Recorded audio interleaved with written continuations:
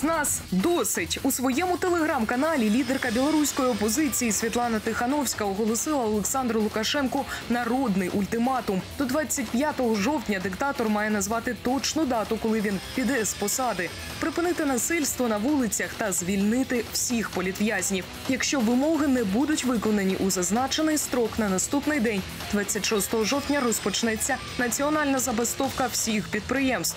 Дороги блокуватимуть, а у державних магазинах станеться обвал продажів. Згодом Тихановська оприлюднила відео, в якому вчергове закликала працівників державних підприємств не боятися доєднуватися до протесту. На МТЗ, как и многих заводах, план просто не выполняется. А значит, контракты режима под угрозой. И это очень важно.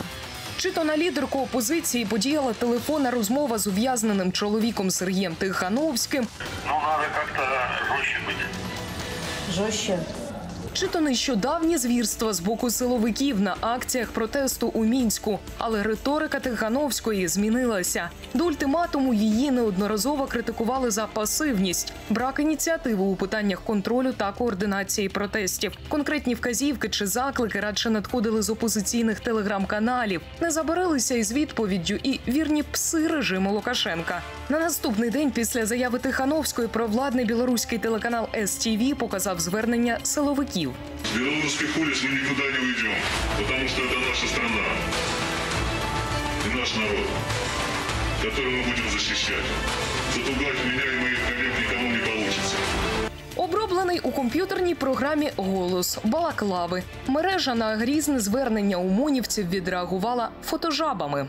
Лукашенко не тримається за владу. Усі спроби західних партнерів оскаржити результати виборів, оголошених ЦВК Білорусі, некоректні. А зустрічі канцлерки Німеччини Ангели Меркель та президента Франції Еммануеля Макрона зі Світланою Тихановською ніщо інше як втручання у внутрішні справи Білорусі.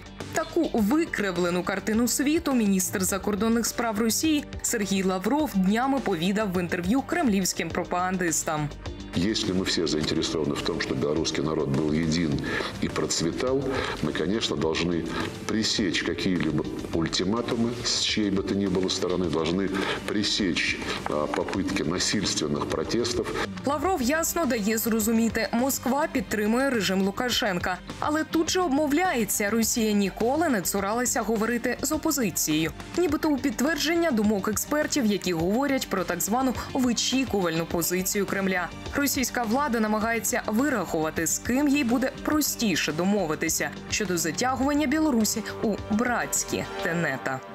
И крестьяне имеют право на свое слово, и рабочие хотят свое слово сказать. А не бесчинствующие молодчики, которые ходят по улицам и кричат, что они хотят диалога. У серпні Лукашенко заявляв, що готовий розмовляти лише зі студентськими та трудовими колективами. Нині ж сідає за один стіл з опозиціонерами. Так, 10 жовтня він несподівано навідався до СІЗО КГБ в мінську, аби цитата почути думки всіх. На зустрічі були присутні 12 політв'язнів, зокрема екс-голова Белгазпромбанку Віктор Бабарико, якого до ув'язнення називали чи не найголовнішим суперником Лукашенка на президентських виборах, та блогер Сергій Тихановський, чоловік Світлани. Вона живе під лозунгом «Даєш діалог, а конституцію на вулиці не напишешь». Зустріч тривала більше чотирьох годин. Деталей про що саме говорили, не розкривають. Навіщо ж ця імітація діалогу? Член президіуму координаційної ради Павло Латушко вважає, батька проявив слабкість. Він відчуває, що крах його режиму близько. Інші ж говорять, що диктатор намагається створити для міжнародних партнерів ілюзію демократії, або це спроба загасити протестні настрої.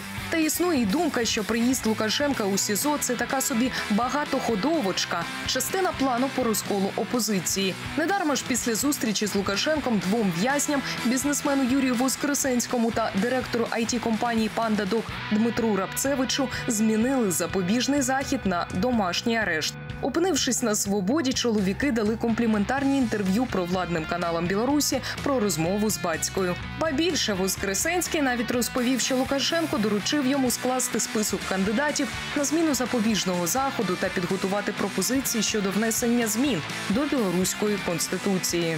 Никаких посторонних лиц на встрече не было. И она была м, очень горячая и очень откровенная. На наступний день після спектаклю у СІЗО у центрі Мінська пройшов так званий марш гідності, під час якого режим Лукашенка вкотре довів білоруським протестувальникам сподіватися на зміни марно. Правозахисний центр Весна повідомляє про щонайменше 450 затриманих. Силовики били протестувальників кийками, застосовували водомети та світлошумові гранати. Та навіть після жорсткого розгону люди продовжили виходити на вулиці. 12 жовтня на акції у білоруській столиці та інших містах вийшли пенсіонери. У мінську в літніх людей сталася сутичка з силовиками. Пенсіонери саме намагалися відбити затриманих раніше протестувальників, коли тихарі, невідомі у формі без опізнавальних знаків, застосували щодо літніх людей перцовий газ та світло-шумові патрони. Після чергових жорстких розгонів протестів у Білорусі міністр закордонних справ Німеччини Гайко Маас закликав Євросоюз вести персональні санкції проти Лукашенка. Раніше про його прізвище у санкційному списку не йшлося, адже Брюссель не втрачав надію на виважений діалог.